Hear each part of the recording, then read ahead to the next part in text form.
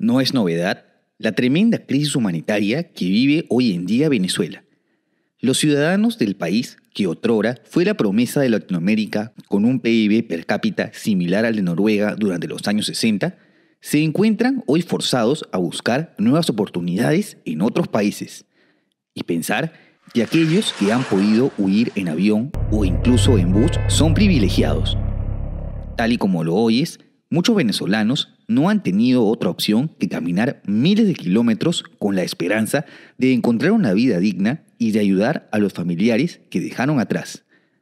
¿Alguna vez te preguntaste sobre las peripecias y peligros que han tenido que enfrentar? ¿Te interesa plasmar esta peligrosa ruta en un mapa? Dale, entonces quédate hasta el final del video, pero antes no te olvides de suscribirte al canal. Créeme que me ayudarías muchísimo.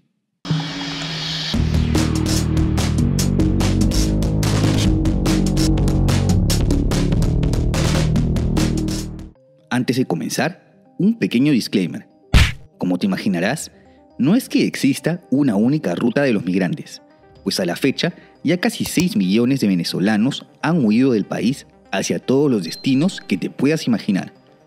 Sin embargo, aquí hablaremos de la ruta a pie más común, que sale de Venezuela para llegar a Colombia, Ecuador o Perú, recorrida por venezolanos que no tienen recursos para costear un pasaje por bus. El punto de partida es la frontera colombo-venezolana más concurrida entre el estado venezolano de Táchira y el departamento colombiano del norte de Santander. Muchos venezolanos cruzan el puesto fronterizo desde la ciudad de San Antonio del Táchira para llegar a Cúcuta, Colombia. Muchos de ellos compran artesanías o dulces que pueden revender en Colombia al otro lado de la frontera y así tener algo con que sostenerse durante el viaje. Otros se ven forzados a esconder el poco dinero que llevan por miedo a que en los puestos fronterizos controlados por militares y policías venezolanos corruptos se los decomisen. Y claro, esto considerando que puedan llegar a Colombia legalmente, es decir, con pasaporte. Recordemos que para muchos venezolanos es imposible costear un documento de 200 dólares cuando el sueldo mínimo actualmente no pasa de un dólar. Y aunque consigan pagarlo, la burocracia del Estado venezolano genera tremendas demoras que hace que muchos no quieran intentarlo. Por tal motivo, hay gran cantidad de ciudadanos que optan por cruzar las denominadas trochas, peligrosos caminos controlados por grupos informales o bandas criminales que cobran por un ingreso ilegal a Colombia. Para esto, tienen que cruzar el río Táchira, y es en estas zonas donde muchos venezolanos se arriesgan a extorsiones o secuestros de bandas criminales y grupos guerrilleros. Se han reportado crímenes como trata de blancas o reclutamientos de menores. Regresando a los venezolanos que lograron cruzar la frontera y seguir su camino, es aquí cuando se comienza con la que muchos consideran la parte más difícil del trayecto. 556 kilómetros desde Cúcuta hacia Bogotá. Recordemos que estamos en la cordillera de los Andes y el camino tiene constantes subidas y bajadas. Para esto, hay que cruzar complicados relieves como el páramo de Berlín. Este gélido territorio se encuentra entre 2.800 y 4.300 metros sobre el nivel del mar, en donde se guían a temperaturas de hasta 0 grados centígrados. Lamentablemente, algunos venezolanos no han sobrevivido a este reto y han perecido aquí, Muchos otros lo han logrado gracias a la ayuda humanitaria de colombianos en el camino, o tal vez con aventones de buses que los pueden acercar a su destino. Una vez en Bogotá, muchos se quedan en la capital y otros emprenden a diversas partes del país. A la fecha de publicación de este video, se estima que entre 2 y 3 millones de venezolanos se encuentran en Colombia. Los que quieren seguir hacia otros países Usualmente emprenden hacia Cali para ir acercándose poco a poco, pasando por localidades como Popayán y Pasto. Una vez en la frontera con Ecuador, nuevamente hay quienes no pueden pasar legalmente y optar por tomar trochas alternativas. En este caso, hay cruzar por el río Guaitara o Carchi, en donde se han reportado casos de venezolanos que han muerto ahogados. En el caso de los que cruzan legalmente, tampoco es que se la pasen tan bien. Las inmensas colas para cruzar el puente Rumichaca han tardado días o incluso semanas durante el cenit de la crisis migratoria. Varios venezolanos han tenido que dormir en el suelo a bajísimas temperaturas. Pasando esto, la primera localidad concurrida en Ecuador es Tulcán. En el caso de los caminantes, demoran un promedio de entre 15 y 20 días desde Cúcuta por lo que es normal que hagan paradas para descanso o hacer algo de dinero en diversas localidades en el camino. Nuevamente, se comienza un duro trayecto por los Andes ecuatorianos. El primer paso es llegar a Quito, para lo que hay que recorrer 266 kilómetros más en un complicado relieve. Una vez en la capital, muchos venezolanos aún deben decidir si permanecer en Ecuador, en donde habitan ya un estimado de 500.000 de ellos, o si seguir de largo hasta Perú.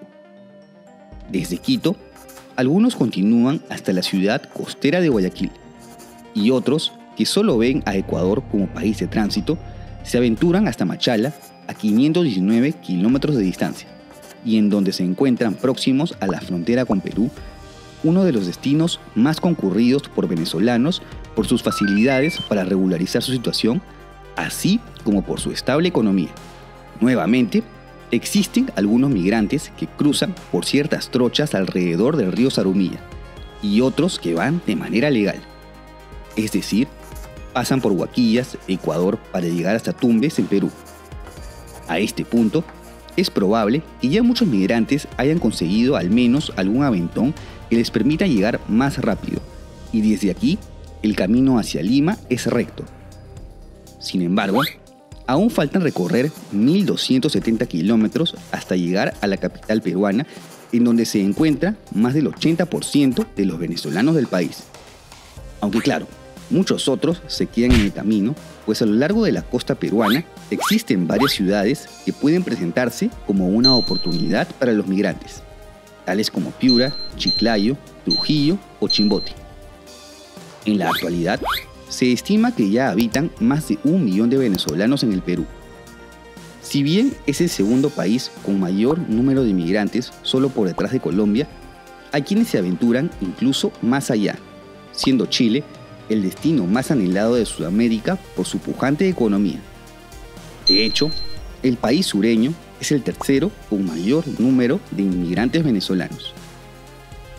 El éxodo venezolano es catalogado por la ONU como una de las crisis humanitarias más severas de nuestros tiempos, comparándola con la de Siria, en donde estalló una cruenta guerra civil. En el 2017 se creó el Grupo de Lima, con el objetivo de dar seguimiento y de buscar una solución al problema migratorio. No es novedad que esto no es una crisis exclusiva de Venezuela, sino que afecta a todos los países de la región. Lo más triste es que las desventuras de muchos venezolanos no acaban cuando llegan a sus respectivos destinos, sino que ya instalados, varios de ellos tienen problemas para encontrar trabajo o adaptarse a la vida en los nuevos países, sin mencionar que en muchos casos sufren de ataques de xenofobia o de abusos laborales. Y para ser franco, no hago este video con la intención de convencerte de que los países deben abrir sus fronteras. De hecho, Sí es cierto que muchos venezolanos han obrado mal, pero también es cierto que muchos otros han migrado únicamente por la necesidad de una vida digna y sobre todo para mandar apoyo a sus familiares, quienes siguen viviendo la incesable crisis de un país que continúa cayéndose a pedazos. Por tal motivo, te invito a reflexionar. Muchos de ellos han tenido que pasar todos estos martirios. Caminatas larguísimas, frío, hambre, riesgos de secuestros, violencia o incluso perder sus vidas. No sería justo que encima de esto les pongamos una mala cara a los venezolanos buenos que solo buscan salir adelante. Pero bueno, lo dejo a tu criterio. ¿Tú qué opinas? ¿Cuál crees que es la mejor manera de solucionar esta crisis? Si eres venezolano y estás viendo esto, ¿has tenido que emigrar en alguna condición parecida? Si es así, me gustaría que nos compartas algunas de tus experiencias. No te olvides de dejar tu comentario y si te ha gustado este video, apóyame con un like y suscríbete a mi canal. También puedes seguirme en mis redes y si te interesa apoyar este proyecto, cualquier donación en Patreon en donde podremos hablar de historia será bienvenida.